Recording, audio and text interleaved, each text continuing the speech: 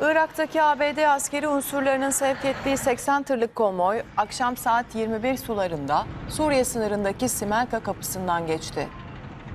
YPG PKK'nın işgal ettiği alanda ilerleyen tırların kasalarının kapalı olduğu, açık olan bazı tırlardaysa 4x4 pikaplar ve beton bloklar bulunduğu görüldü.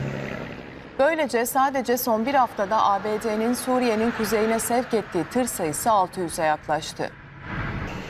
DAEŞ'le mücadeleyi gerekçe göstererek 2015'ten bu yana YPG PKK'ya askeri destek veren ABD'nin Suriye'de halen 18 üs ve askeri noktada 2000 civarı personeli bulunuyor. Cumhurbaşkanı Erdoğan, ABD'yi YPG PKK'ya on binlerce tır dolusu silah göndererek müttefiklik ilişkilerine zarar verdiği konusunda uyarmıştı.